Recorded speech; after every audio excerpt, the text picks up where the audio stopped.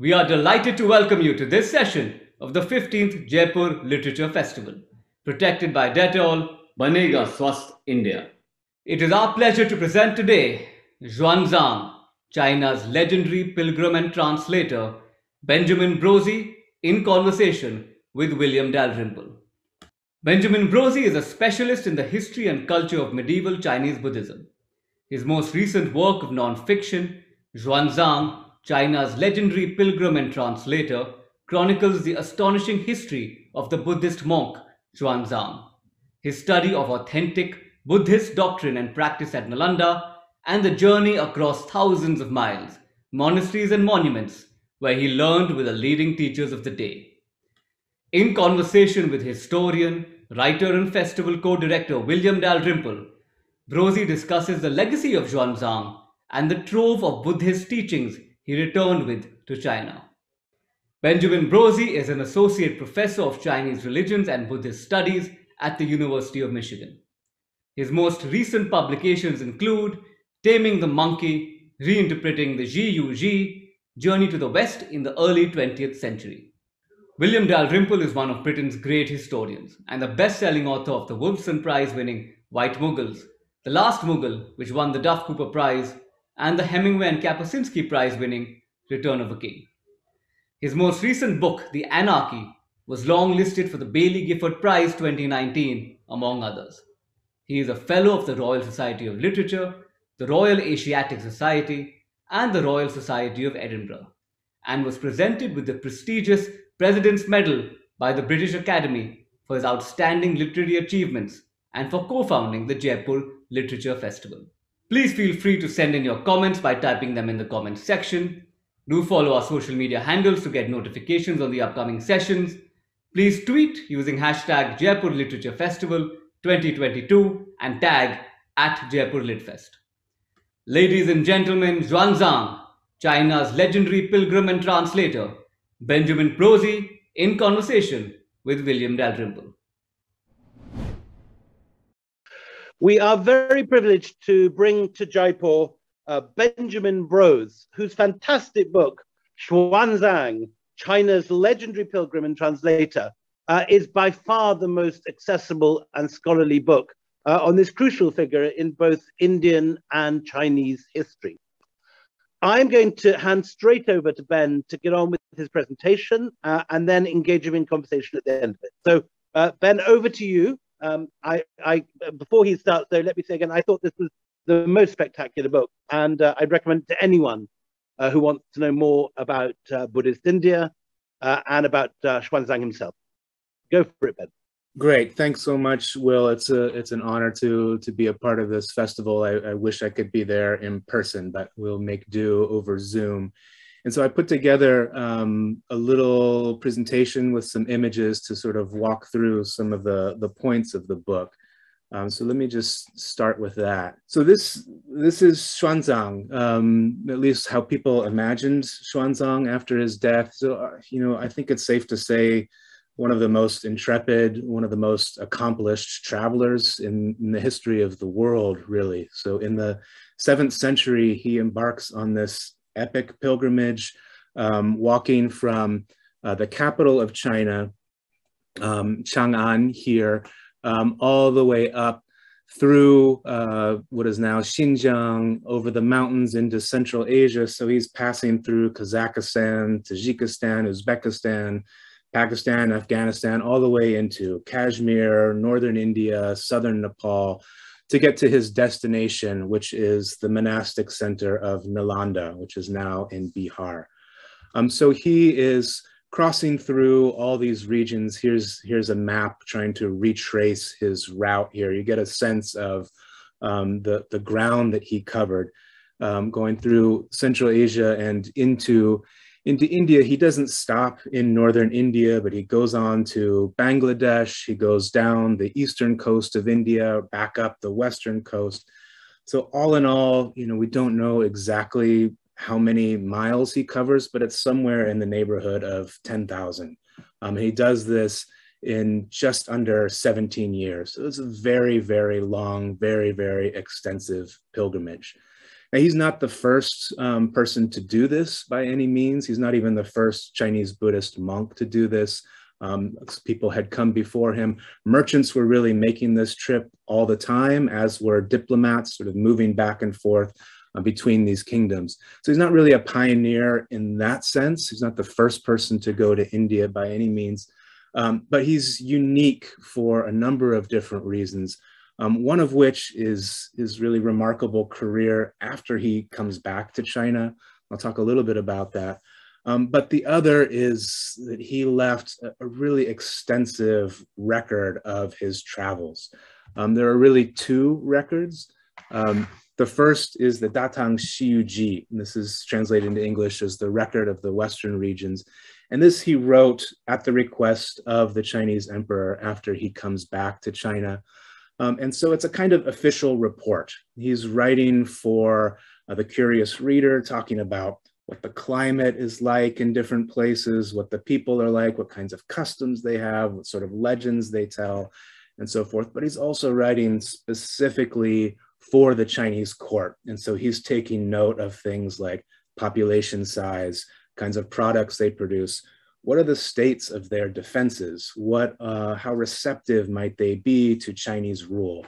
So it sometimes is a little bit of intelligence gathering in this document, uh, but he's also, of course, this really devout and pious Buddhist monk. So he is paying close attention to the state of Buddhism and all the places he's passing through. So he's noting down the number of monasteries, the number of uh, monks living in different monasteries, different places, what traditions are they upholding, what texts are they reading, and so forth. So this document is, is an incredibly rich source of information, incredibly rare source of information about 7th century India. We really don't have since India and Central Asia, there's nothing really comparable.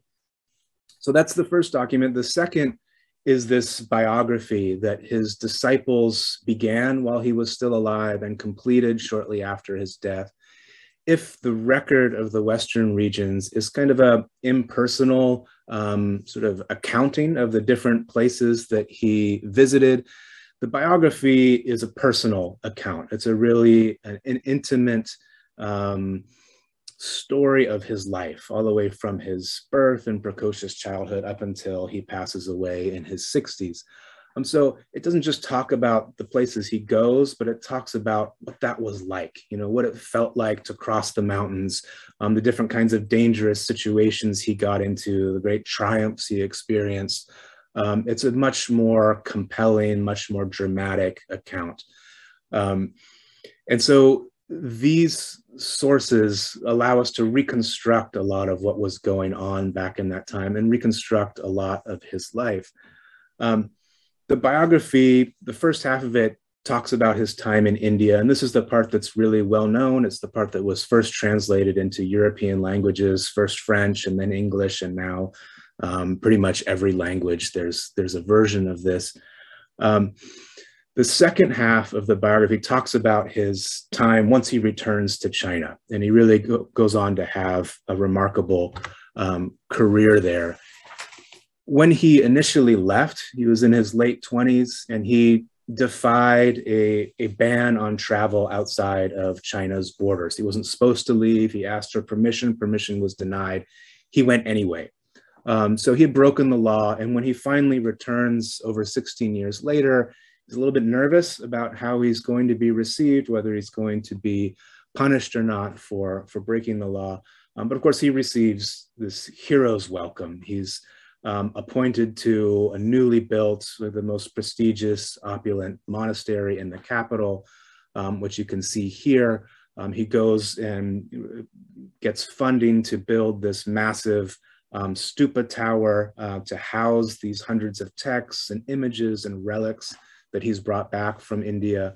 Um, he's a confidant of two emperors, uh, advising them, sort of accompanying them when they travel, um, as well as one empress, right? The, the famous Wu Zetian, the only woman ever to rule China as an emperor. And in fact, he even serves as a kind of foster father to her infant son, the crown prince.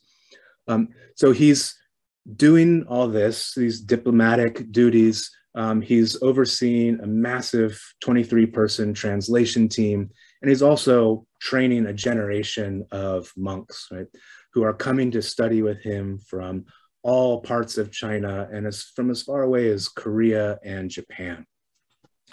So Xuanzang, in short, is this really, really busy guy once he comes back from India. Um, and you can get a sense of this by the kinds of um, the the output of his work, right? So this is this is the, the, a modern day picture of the Great Wild Goose Pagoda, where he initially had built to store his texts. Um, of the texts that he brought back, he and his team translate 74. Um, some of these are, are pretty short, like the Heart Sutra, just a single page. Others are these massive 600 chapter works. So all in all, he translates um, well over 1,300 scrolls of text. Right? This is a massive output. So to give a, a point of comparison, it's roughly 25% of the entire Buddhist canon at the time. Right? So no one has ever come close, either before or after, to that kind of output. And not only is he um, productive, but his translations are famously accurate and faithful to the original Sanskrit text. So he's, he's still um, widely uh, studied for that reason. Um, you can get a sense of his work ethic from his daily schedule, um, which fortunately his disciples recorded. Uh, so let me just read you what they wrote. It's a brief passage. Um, he made a schedule every day.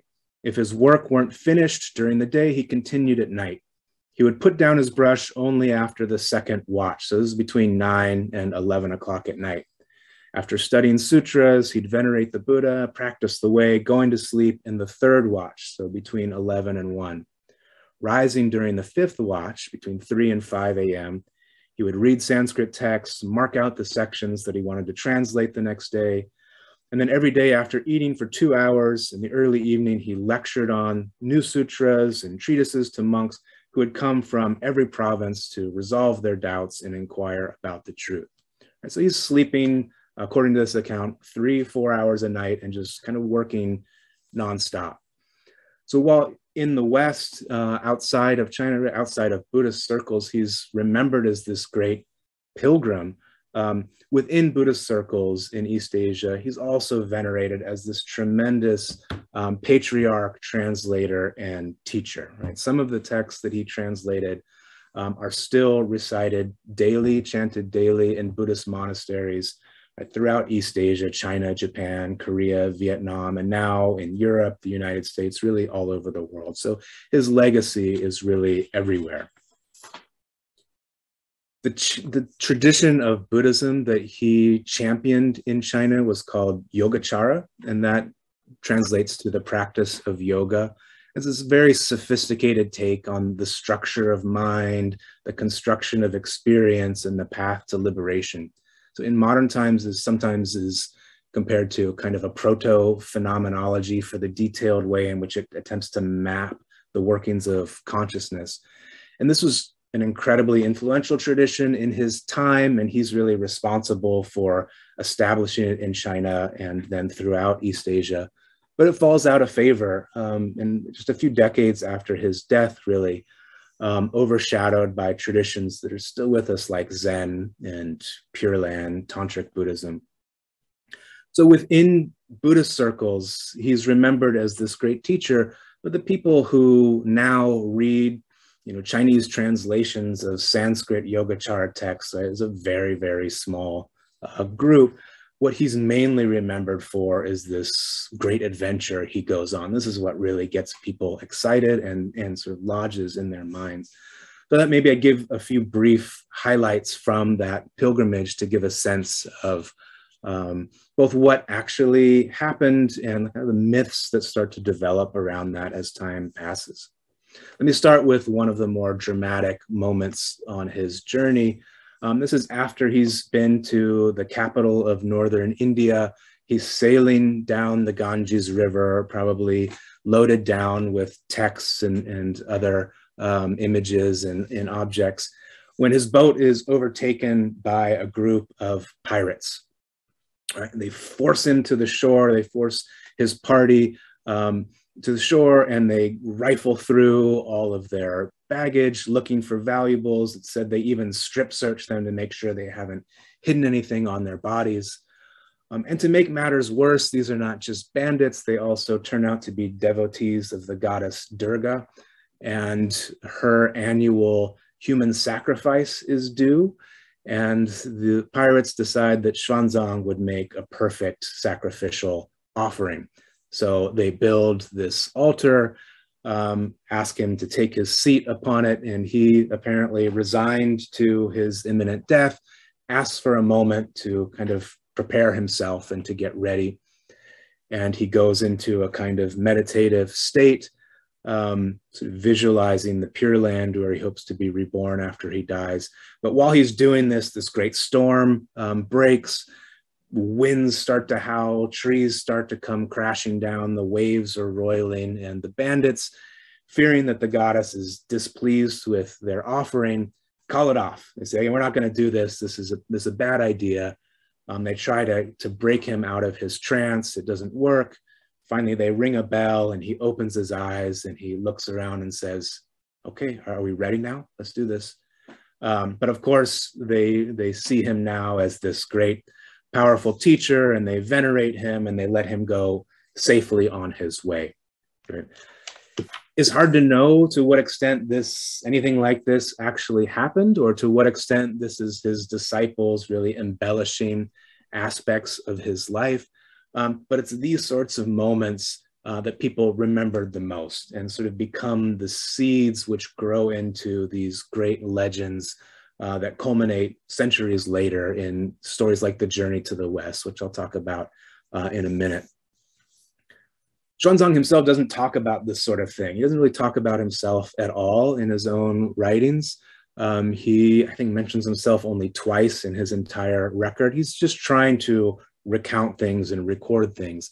And his goal really is not some kind of personal adventure, but he wants to visit the places where the Buddha lived, where the Buddha taught, where the great teachers of the past had lived and taught. Um, and ultimately, he wants to get to this place. This is Nalanda. This is sort of a, schematic drawing of, of the ruins which still exist in Bihar. This is the, um, the most prominent, um, most prestigious place of Buddhist learning in India during this time, this massive monastic complex, um, sometimes referred to as a university because it was a center of learning. Um, this is the ultimate goal of Xuanzang's pilgrimage. He wants to go and study there, study with the great teachers who live there. Um, and so he arrives um, and is granted admission, right? And so there's, there's roughly two to 3,000 monks when he visits, living in eight monastic complexes, which you can see here, um, lined up side by side. Each one has these living cells around these central courtyards. Um, and he's given a, a, place on the fourth floor of one of these temples. Um, he describes this as, you know, an extraordinary place, um, incredibly uh, well kept with carvings and brightly painted um, facades and gardens and streams running into lotus ponds. So it's really, um, a fantastic place for him to study, and it's drawing all the best minds, the best Buddhist minds, at least in India at the time.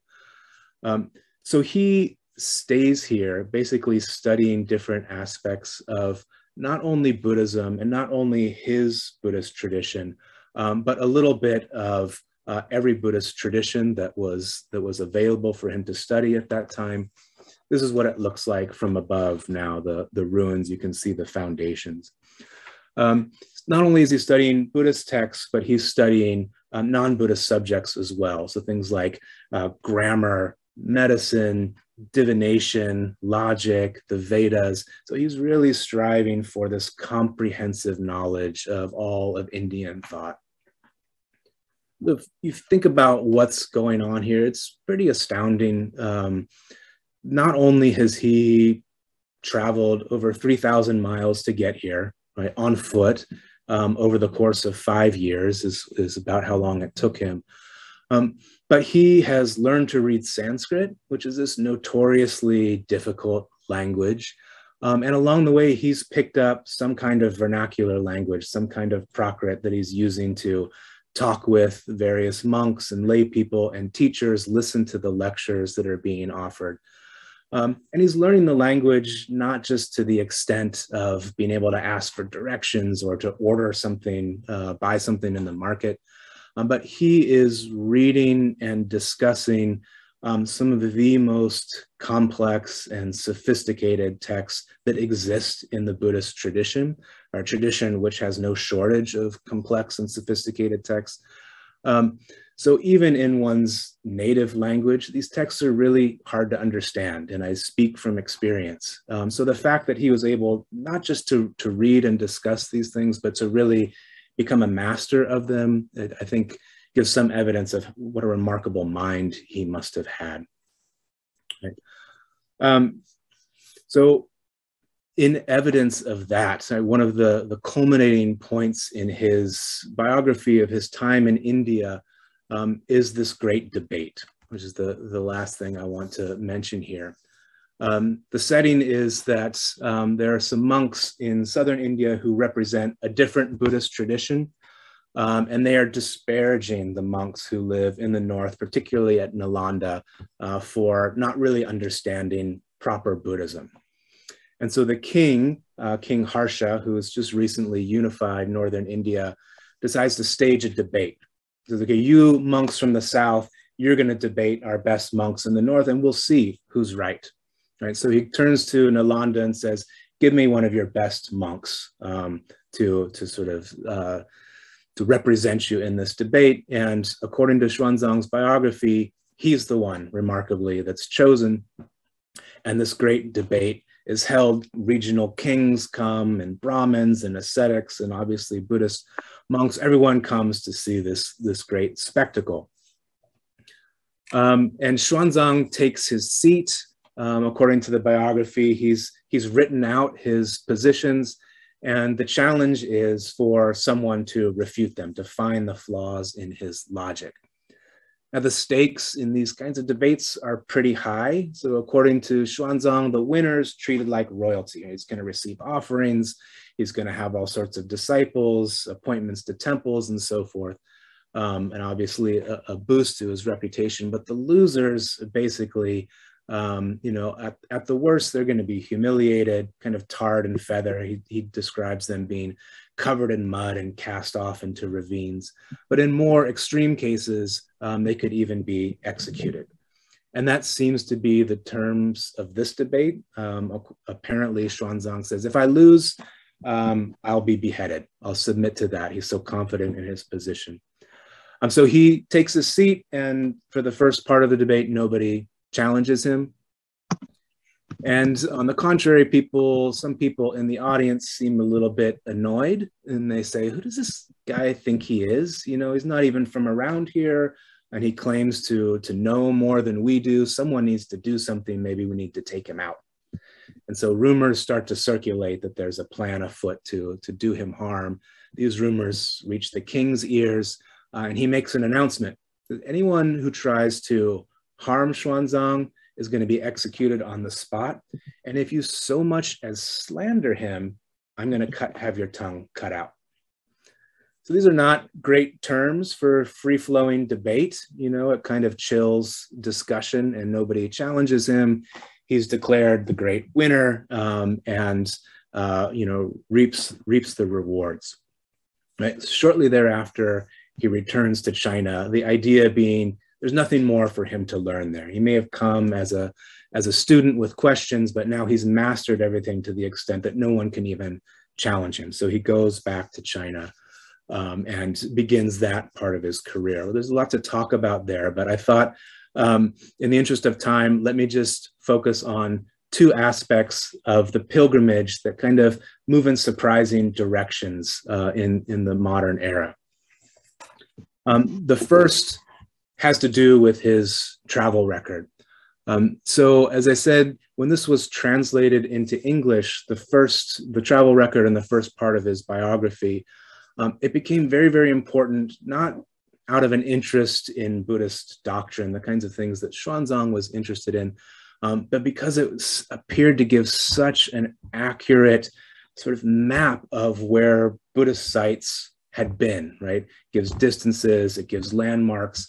And so British officials and archaeologists see an opportunity to use this um, as a guide to go find lost, ruined Buddhist sites. You know, at this time there is no, no Buddhism in India anymore, and a lot of the places have been forgotten.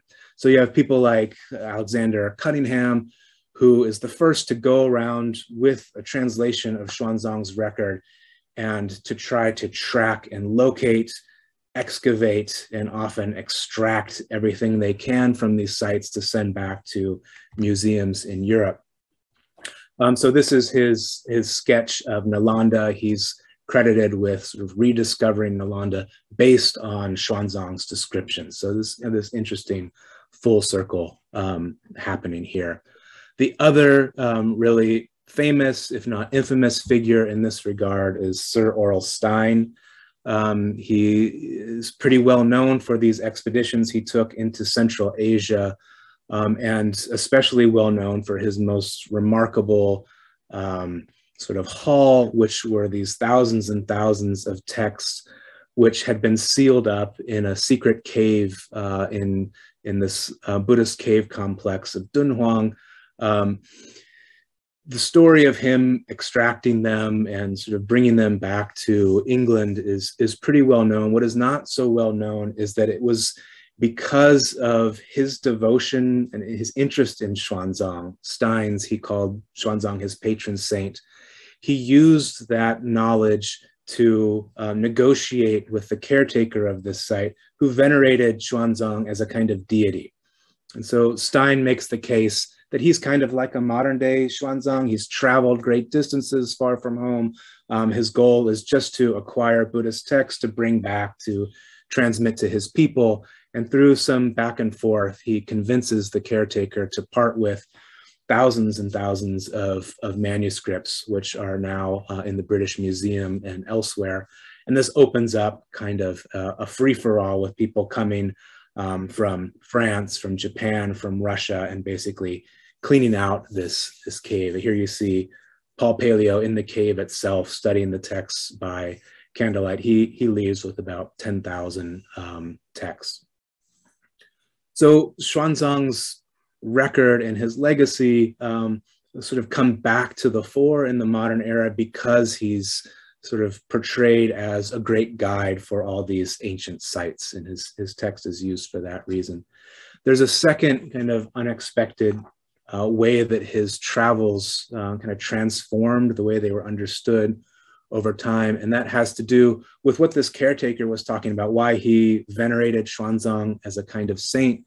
Um, because after he died, uh, later generations started to think of him um, less like a human being who made this, this trip to India and back, and more as a kind of saintly figure or as a kind of deity who received texts not from teachers in monastic libraries in India and Central Asia, but from heavenly realms. Um, so here you see a, a, scroll from Japan with Xuanzang surrounded by uh, different divine and demonic beings. He's got that backpack filled with scrolls. The idea being he's transmitting these from a kind of heavenly realm. These are sacred divine texts.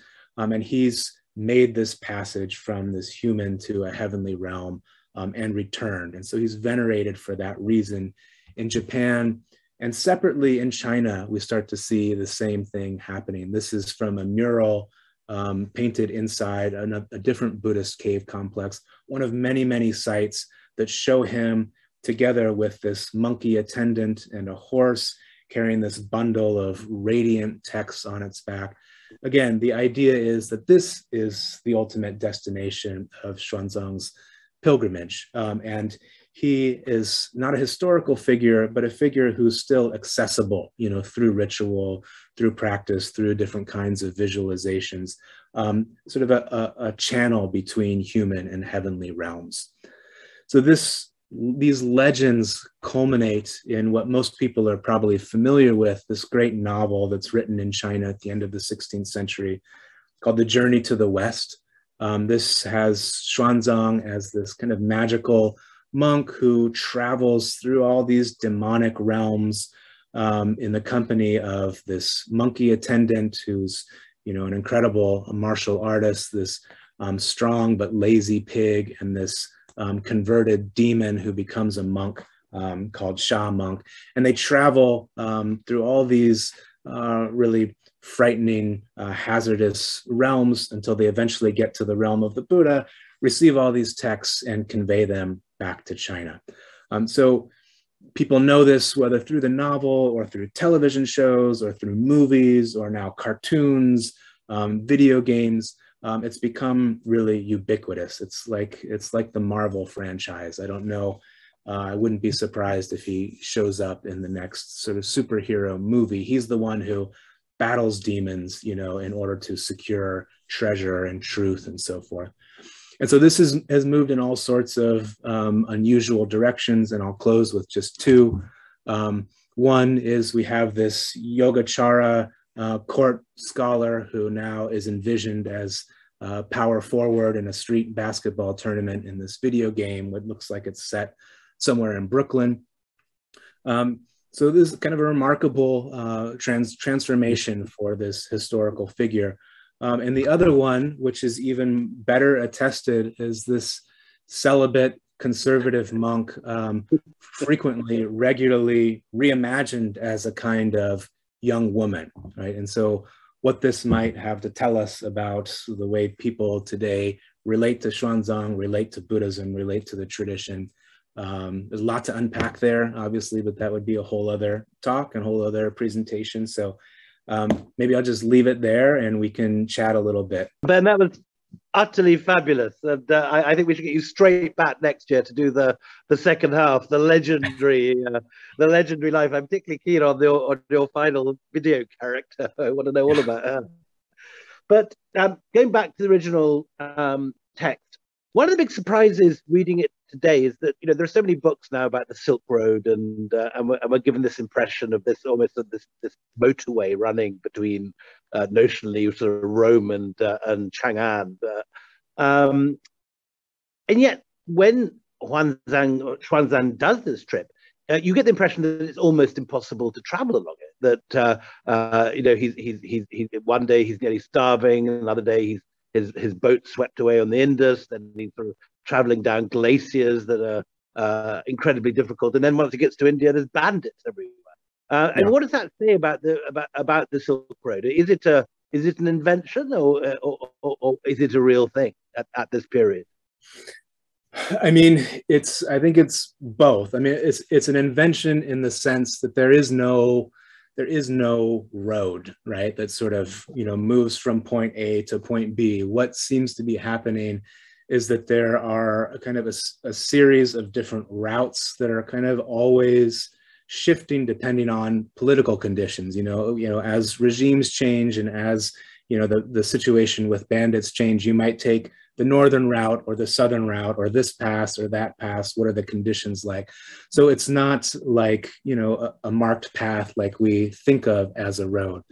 Um, but it's it's absolutely clear that people were making the passage passages between china um, parts of central asia and india on a, on a regular basis. We have diplom- we have records of diplomats doing this merchants are doing this trading everything from tea to silk to minerals to different types of chemicals and other products.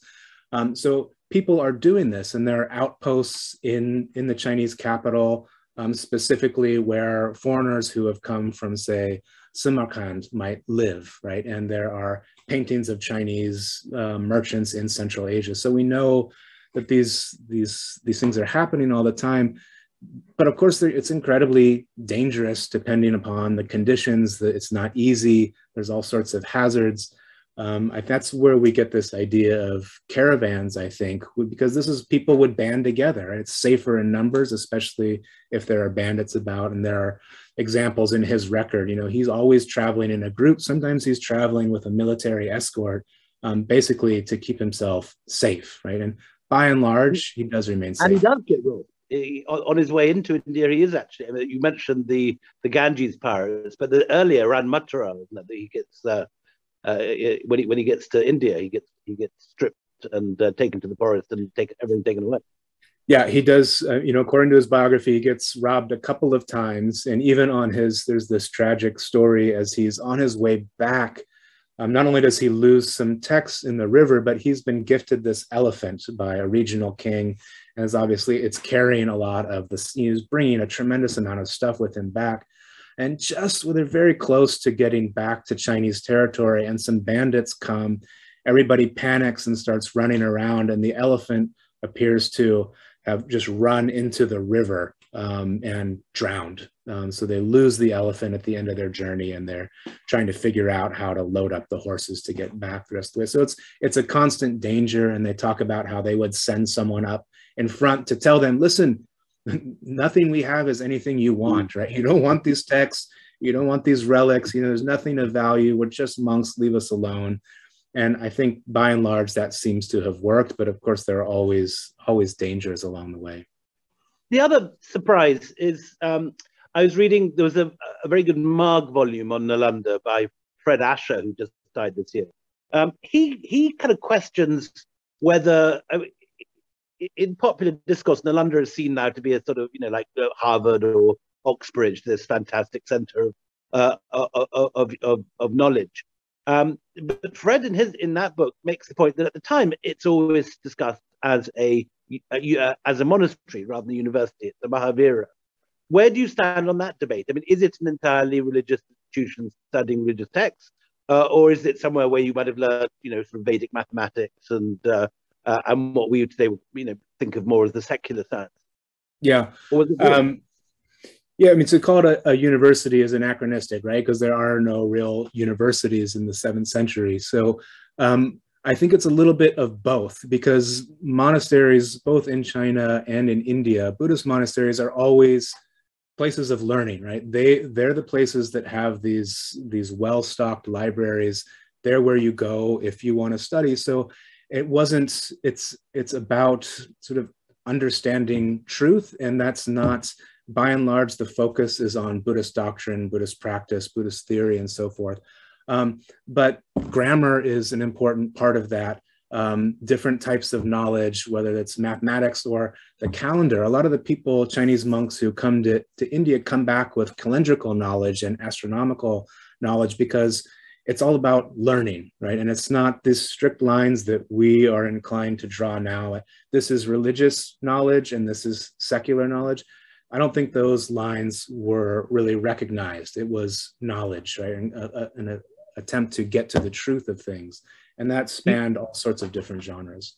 You mentioned the, the Empress Wu Zetian and, and, and, and how, uh, as we know, uh, slightly under the tutelage of, of Xuanzang, she, um, she very much uh, patronizes Buddhism. She also patronizes a lot of Indians uh, in the Chinese court how far can can can one imagine sort of Indian culture and science making a a major impression in China uh, at this period and, and the period immediately after Xuanzang? I think it's it's clearly made an impression. I mean, this was it was really the only um, incredibly advanced, sophisticated civilization that that China was um, aware of and in contact with during that time, and so it became kind of exoticized. And so, things coming from India, whether it was um, different types of products, um, different types of tradition, were kind of the rage in urban centers in China, right? It, it showed a kind of sophistication. And so we know that monks kept coming. So Xuanzang is hosting Indian monks. Diplomats are coming from India based on the kinds of relationships that he's from his friends, doesn't he? I mean, I mean, lovely idea. Even that, even at that period, you can, um, you know, you, you can send uh, uh, a letter from Nalanda to, uh, uh, and it'll arrive in Chang'an. Yeah, it's amazing, you know. And they, these these monks come and they stay for a few months, and then they take the letters back, you know. So it's probably taking years for this correspondence to happen, but you know, because of that, we have these beautifully written letters. You know, people took a lot of time to write them. They were so important, and they're they're sending products back and forth. They're sending text. So there's the lines of communication are open, and there's even a, a monk from Gandhara, I think, with Xuanzang when he passes away. So within his monastery, he was hosting visiting monks from India. So it's really um, it's amazing to think about what that those cultures must have been like within the monasteries. When um, Xuanzang describes Buddhism in India. There are places like Nalanda which are flourishing and uh, which are very much alive, but a, a, lot of places like Gandhara are already in decline, and uh, and that decline obviously continues after uh, Xuanzang's uh, demise. Uh, what are the reasons for those that decline? And should we imagine conf uh, conflict and competition between Hinduism and Buddhism, or is it just that passions change and and and um, the new bhakti-oriented Hinduism is, is, is, more accessible, more attractive uh, to people? What, what's the reason that uh, uh, Buddhism declined so far? Yeah, it's it's not entirely clear. So Xuanzang describes, especially the places that were once thriving centers that are now pretty much um, desolate or have been overtaken by other religious traditions he describes sort of the Huns coming down from the north who, who have this antipathy towards Buddhism and are just intentionally wiping out Buddhist monasteries. So there does seem to be some kind of overt conflict there. And he, he definitely references, um, if not outright conflict, certainly competition between, you know, what we would call Hindu traditions, Shaivite traditions and so forth, and the Buddhists, right? They're competing for patronage, they're competing for recognition and resources. Um, and often, you know, the, there's one scene in his in his uh, biography where one of the kings who who calls a great festival and is honoring Xuanzang, um, there's an attempted assassination on him by people who are not Buddhists and who feel like the, the king is unfairly, you know, revering these Buddhists at the expense of, of other religious traditions, other types of ascetics. So there, there is a tension there. Um, and you know, when he is there in the seventh century, it's um, you know you can see it very clearly in his travelogue that so there's sort of islands of real thriving Buddhist centers like Kashmir and Bihar and other places, and other places that are really important in Buddhist history, uh, like the place where the Buddha was born or where he died, that are just you know nothing's happening. It's just ruins of monasteries. And he is always complaining that the heretics or the devas have taken over these sites. So there's you know the story traditional story is well after the the muslim invasions you know in the 12th 13th century everything that's when buddhism disappears in india. Um, but it was happening long before that right? it's sort of a gradual kind of erosion of of its place of prominence within Indian culture seems to be what's going on. Ben, that's so fantastic. Thank you so much. I would recommend to anyone who wants to know more, uh, Ben's fantastic book, Xuanzang, China's legendary pilgrim and translator. Uh, it's in paperback, it's enormously accessible, but it contains all the latest scholarship uh, with fantastic bibliography and notes if anyone wants to read further. So uh, this figure who I know feels pretty dry in Indian history textbooks really comes alive uh, very movingly uh, in Ben's text. So uh, I highly, highly recommend it. And thank you so much, Ben, for joining us. Thank you, Will. It's been a pleasure. Thank you, Benjamin and William, for a delightful conversation unpacking the legacy of Xuanzang. Thank you all for watching and being such a great audience. Do stay tuned to continue to watch our wonderful sessions and the JLF Writers Shorts, all of which have been specially curated for you.